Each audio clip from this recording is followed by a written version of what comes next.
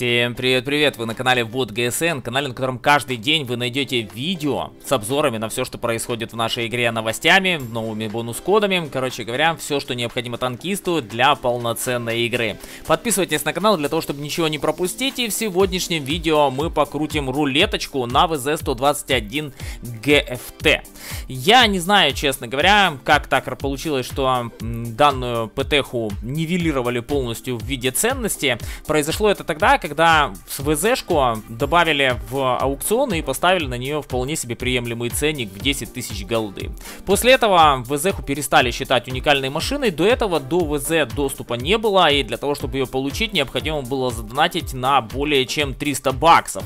Ну, короче говоря, такой себе уничтожитель или что-то подобное. Тачка, которая была мечтой для многих ПТ-водов, но со временем она перестала быть редкостью в нашей игре. В отношении стоимости по рулетке. Полная стоимость рулетки, здесь 16 прокрутов, 17 525 золота. И я лично считаю, что это очень дорого, с учетом того, что в рулетку положили, да и сама ВЗХ объективно стоит где-то тысяч восемь с половиной, просто исходя из того, как она играется и что она реально может. Да, это хорошая восьмерка, но она далеко не самая имбовая, ну и, соответственно, завышать на нее ценник смысла никакого нет. Если говорить о вероятностях выпадения, то там вероятности выпадения самые низкие низкие идут, понятное дело, на саму машину, всего лишь 0,09. И в отношении легендарного внешнего вида, то камуфляж забирает на себя 0,21%. Можно сказать, что со второй по вероятности выпадения с конца, но это сугубо, знаете, так вот номинально, потому что тот же самый Хранитель Неба имеет 0,32% выпадения, а контейнер «Собери их все» 0,38%. Я не совсем понимаю такие проценты по одной простой причине, потому что камуфляж э, в э, данную машину обойдется вам существенно дороже, если его покупать э, за голду, и, соответственно, он явно должен быть с меньшим процентом, а процент выпадения на того же самого Хранителя Неба или на Собери их все должен быть немножко выше. Ну, поставили такие проценты, и, опять-таки, сугубо номинально можно сказать, что э, действительно внешний вид и танк, имея самые низкие проценты, скорее всего, придутся на последние прокруты. Так вот, если вы заберете танк себе на 14 прокруте включительно, то обойдется вам это все удовольствие в 12 725. Заберете пару черных ящиков, заберете себе мелкой дребедушки, которую в рулетку положили. Если на 15 прокруте, то уже 15 275. Если говорим о 14 прокруте, то еще куда не шло, а вот 15 и 16 прокрут, ну это совсем уже бездарная трата голды, и оно того однозначно не стоит. Если говорить о других прокрутах, то в целом самые объективные нормальные прокруты по цене это прокруты до 9 прокрута включительно. И сейчас попытаюсь объяснить почему. Стоимость данных прокрутов по большому счету невелика. Ну да, немножечко, конечно, великоват 9 прокрут, но его номинально тоже возьмем.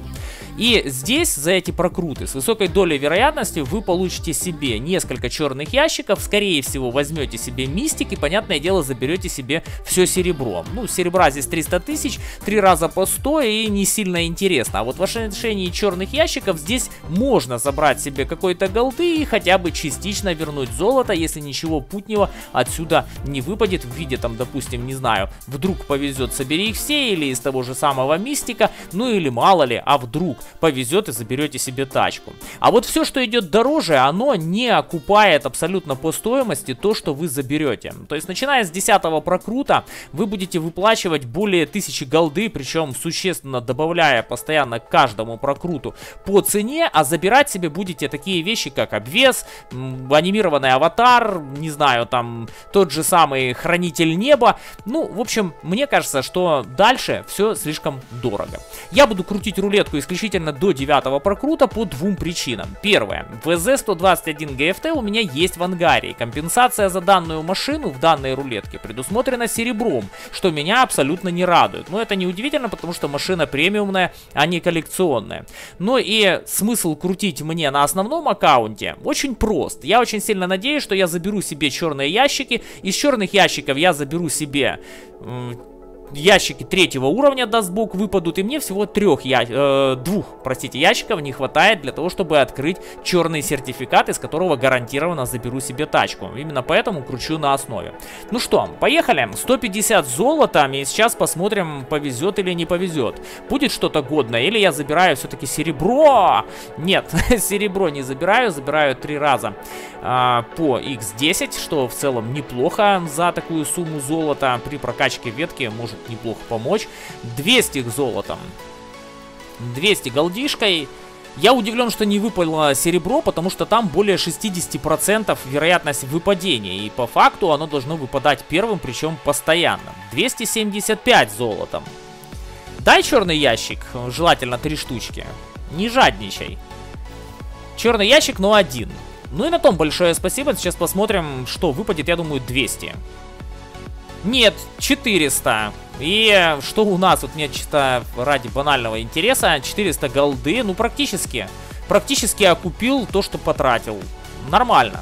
Это то, ради чего, в принципе, стоит крутить э, до определенного прокрута, пока есть возможность хоть как-то окупаться. Мистический контейнер. Неужели мистический сертификат или просто свободку дашь? Да, просто да, свободку талисманов еще собирать и собирать. 2000 свободного опыта и сертификатики на свободочку опять-таки. Один прокрутик за 50 предусмотрен в рулетке, самый дешевый прокрут, причем интересно, что рулетка начинается не с 50 голды, а со 150, и только потом 50 встречается. Еще сотка серебром и 450 золота, что мне принесут? Ну да, еще раз э, черный ящик. Черный ящик. Хорошо. Давай, родимая, не подкачай. Эх, блин, второго уровня и сотня голды. Дай третий уровень. Да, да, да, да, да, да, да, да. Вот то, что мне надо было. Вот то, ради чего я, в принципе, начинал крутить эту рулетку у себя на основе. Еще одна часть сертификатика и 600 голды. Вы как видите, одного не хватает для того, чтобы черный талисман собрать и, соответственно, забрать себе гарантом какую-то машину. Забираем, забираем, был всего один. Ну что, 575. Э, вот этот прокрут полностью окупается выпавшей голдой из э, ящика чер э, черного третьего уровня. Там выпало 600. И за них я забираю всего 100 серебра. Ну, такое себе. 775. Давай. Вот оно! Вот оно! Ради чего все начиналось. Не подкачай, родимая. Не подкачай меня. Так, второго уровня. Будет, будет третьего уровня контейнер. Очень надо. Нет, не будет. Обманула меня в этот раз. Коробочка. Открываем вторую коробку. Нось. Нось, ну блин, ну как так? Ну реально, под коленку сейчас ударила рулетка. Третий ящик и... И тоже ничего. Ну теперь я буду, я так понимаю, до умопомрачения искать э, ящик третьего уровня который будет мне постоянно не даваться. 875 голды. Это последний прокрут, который я собирался сделать. Э, делаем этот прокрутик.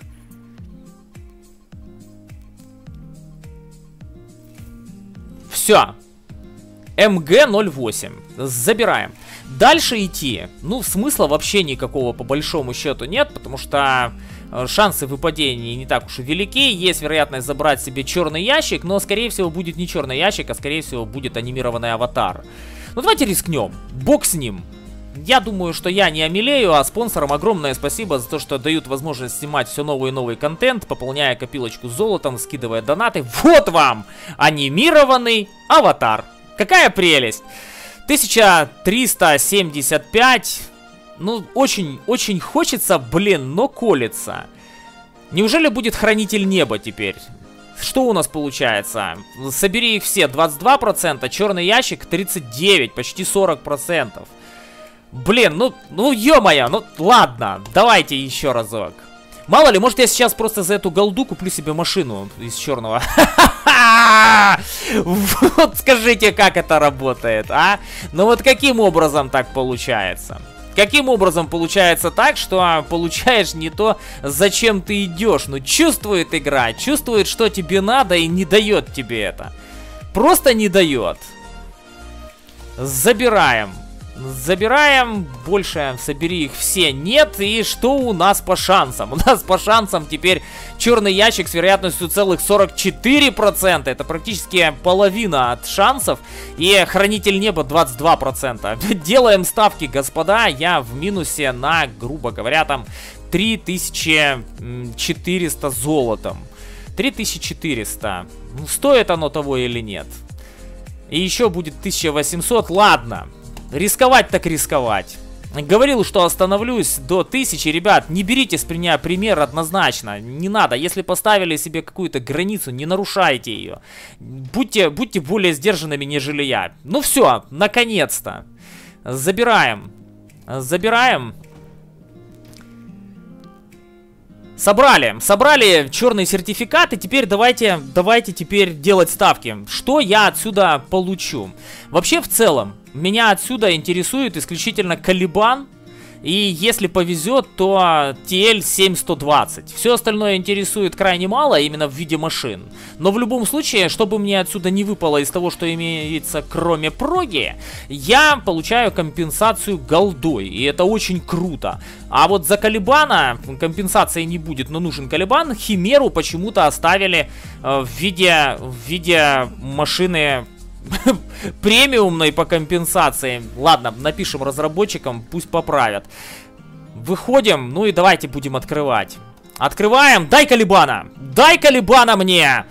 Нет, не Калибан, ВЗ-114 и получаю компенсацию за эту машину. И получается, что выхожу таким образом в плюс. Но это исключительно я, а вам не обязательно, что получится точно так же. У меня просто не хватало несколько частей на черный талисман. Поэтому, поэтому у меня, в принципе, окуп и пошел. Так остался бы в минусе.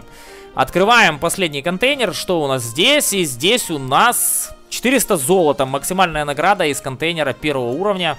А, контейнер выше не выпадает.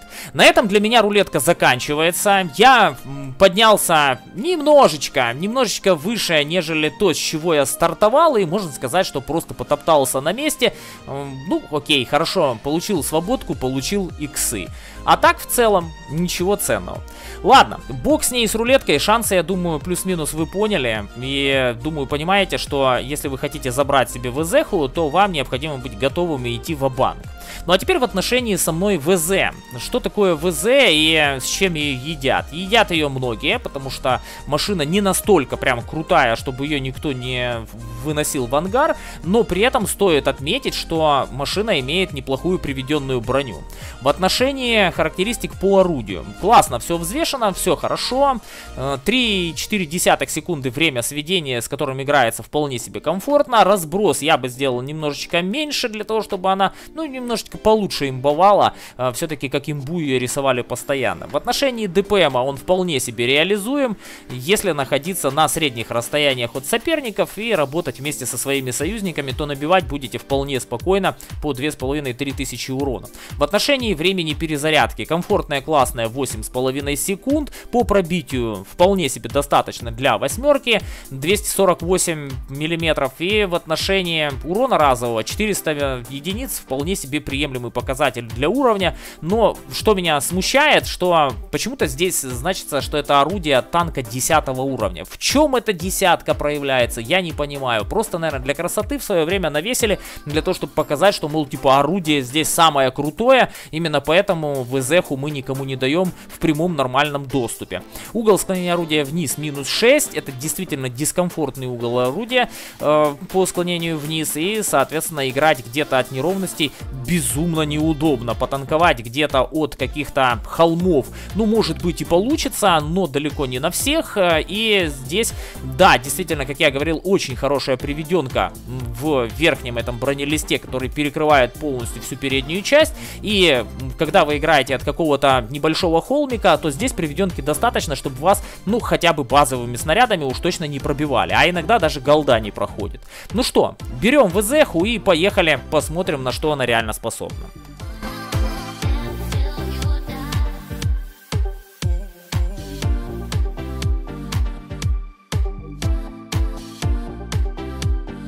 Итак, ребят, погнали. Давайте попытаемся машину заценить. Сейчас посмотрим, кто куда поедет. скорее всего, поедем вместе с тяжелыми танками для того, чтобы развалить одного, который, возможно, приедет на точку С, а если нет, то тогда с этой стороны карты смогу попытешить по соперникам на том конце карты, поработать на точку А. В отношении подвижности, ПТХ очень приятная, очень классная, она действительно может быстро занимать необходимую вам позицию, ну и, соответственно, в этом огромный плюс данной тачки.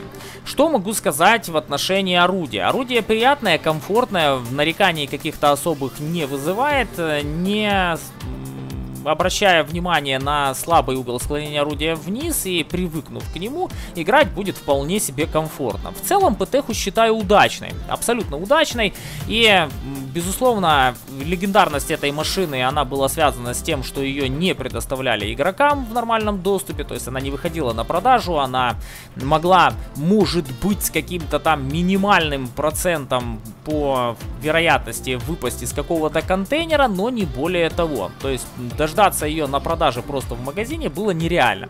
Именно поэтому многие об этой машине мечтали, запретный плод сладок и, соответственно, все пытались где-то как-то ее себе заиметь. Ну а когда появлялась возможность проходить какие-то донатные ивенты, то, соответственно, закидывали бабла для того, чтобы машину себе забрать. Но забирали эту машину, как я уже говорил, как вы понимаете, ну, только самые, самые деньгастые, я бы так их назвал, игроки, потому что задонатить 300 баксов в донатную линейку для того, чтобы покупать наборы с золотом, да, золото, понятное дело, добавлялось в копилку, то есть там не все уходило на саму ВЗХу, часть э, денег, э, причем добрая часть денег, оседала в виде золота на счету, но все равно найти свободных 320, по-моему, долларов на то, чтобы на голду задонатить, чтобы еще и ВЗХу получить, ну, надо действительно иметь для этого финансовые возможности. Именно поэтому ВЗХ было очень мало, а после, после аукциона их э, разобрали вполне спокойно, причем, причем неспешно разобрали, на удивление, ее не расхватывали прям как э, пирожки в голодный год, ее просто спокойно брали. Когда я делал обзор на данную машину, играя на пресс-аккаунте, когда он у меня появился, а ВЗХ была одна из первых машин, на которой я сделал обзор, получив пресс-аккаунт, ну, сами понимаете, когда получаешь возможность снимать видео на аккаунте, где есть все машины, какие только можно себе представить, понятное дело, в первую очередь хотелось заснять обзоры именно на те машины, которых очень мало, которых редко встретишь, ну и, соответственно, она была одна из первых. И я сразу для себя понял, поиграв на данной тачке, что это не имба. Ну реально, объективно не имба. Это просто хорошая, хорошо сбалансированная ПТХ, да, с неплохой приведенной броней, но в то же время далека от идеала. И если сравнивать ВЗХу объективно с другими ПТшками на уровне, то я бы сказал, что она не на голову выше, а где-то там на пол сантиметра, сантиметр максимум, и то все зависит от боя. В данном бою я сделал все, что мог, к сожалению, союзники были не настолько хороши, как хотелось бы, и у меня, соответственно, тоже маловаты результаты. Ни в коем случае не снимаю с себя вины за какие-то ошибки, которые я допустил в этом бою, ну, просто потому что я не идеальный танкист и понимаю, что во мне тоже есть огромное количество недочетов. Но, в то же время, если бы ребята сыграли немножечко, немножечко получше и пожили немножечко подольше, то я бы смог нормально попытешить, ну и, соответственно, смог бы нормально урона набить, сделать бы несколько фрагов, и, как увидели, шансы для этого были абсолютные. Единственное, что реализовать эти возможности не получилось. Стоит ли ВЗХ того, чтобы хотеть ее к себе в ангар? Да, безусловно, стоит. И если бы танк появился на продаже, допустим, за 8,5 тысяч голды просто в магазине, то я бы сказал, ребят, покупайте, машина классная, хорошая, и даже можно брать ее за 8,5 в голом состоянии. А вот в отношении того, стоит ли крутить рулетку до конца, я думаю, вы понимаете, что 17,5 тысяч, даже со всем, что там есть, ну, навряд ли машина стоит. В общем, принимайте взвешенное решение, мнение в отношении того, куда тратить свое золото, уж тем более свои реальные деньги, мое дело показать, в данном случае ПТшку такой, какая она есть на самом деле, и пойти снимать для вас следующее видео. С вас, надеюсь, на лайкосик, подписку на канал и прожатый колокольчик. Мира вам, друзья мои, и обязательно спокойствия. Всем пока-пока.